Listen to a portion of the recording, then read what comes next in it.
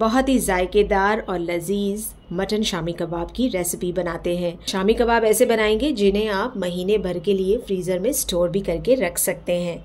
शामी कबाब बनाने के लिए मटन को हम प्रेशर कुकर में पकाएँगे। एक किलो मटन है, इसके मैंने मीडियम साइज़ के पीसेस कर लिए हैं। इसमें डालेंगे 250 ग्राम दाल, चने की दाल को मैंने आठ घंटे के लिए भिगोकर अच्छी तरह से धो लिया है। दाल डालने के बाद इसमें डालेंगे एक मीडियम साइज़ की प्याज स्लाइसेस में कटी हुई। अदरक का टुकड़ा है ये दो इंच का।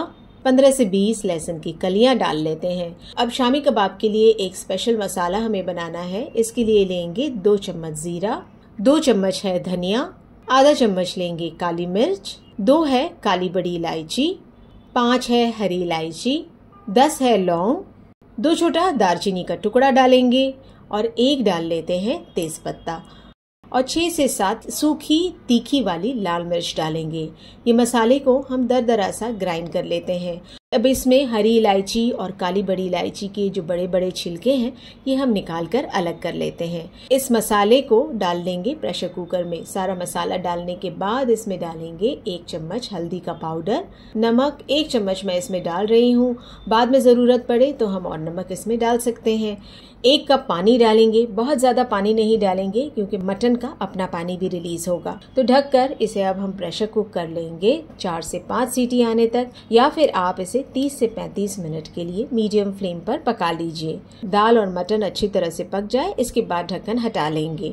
ढक्कन हटाने के बाद अगर आप देखें कि पानी है प्रेशर कुकर में, तब हम फ्लेम को हाई कर लेंगे और इसका सारा पानी सुखा लेते हैं। पानी सूख जाए, इसके बाद हम दाल और मटन के मिक्सचर को निकाल लेंगे एक बड़ी सी प्लेट में। इस तरह से अब कोई मैशर ले लें और अच्छी तरह से मटन और दाल को मैश कर लेना है हमें।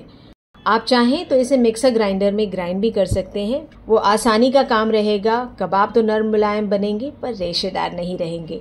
तो ये मिक्सचर अच्छी तरह से मैश हो चुका है। अब हम इसमें डालेंगे दो अंडे। एक मीडियम साइज़ की प्याज बारीक चॉप करके डाल लेते हैं। हरी मिर्च डालेंगे दो से तीन बारीक चॉप की हुई। आधा चम्मच डालेंगे काली मिर्चों का पाउडर आधा चम्मच डाल लेते हैं गरम मसाले का पाउडर। नमक थोड़ा सा मैं इसमें डाल रही हूँ, करीब आधा चम्मच। आप मिक्सचर को टेस्ट कर लें। और अपने हिसाब से नमक इसमें ऐड कर सकते हैं। थोड़े से बारीक चॉप किए हुए धनिया के पत्ते डालने के बाद सारी चीज़ों को हमें अच्छी तरह से मिक्स कर लेना है। शामी कबाब का मिक्सचर बनकर रेडी हो गया है। आप चाहें तो इसे इसी तरह से रख सकते हैं दो से तीन दिनों के लिए फ्रिज में। जब दिल चाहे इसके कबाब बनाकर आप फ्राई कर सकते हैं। या फिर इस कबाब को हम बनाने के बाद अंडे के मिक्सचर में कोट कर लेंगे और कोट करने के बाद हम इसे फ्राई कर लेते हैं। इस तरह से शामी कबाब को फ्राई करने के बाद भी आप फ्रीजर में स्टोर करके रख सकते हैं करीब एक महीने के लिए। जब दिल चाहे, आप इसे निकाल कर माइक्रोवेव या फिर पैन पर गर्म करके सर्व कर सकते हैं। तो कबाब को मीडियम टू हाई फ्लेम पर मैंने दोनों तरफ़ से फ्राई कर लिया है। कबाब रेडी है सर्व करने के लिए। प्याज के लच्छे, पुदीना और हरी चटनी के साथ ये मज़ेदार मटन शामी कबाब को आप सर्व कर लीजिए।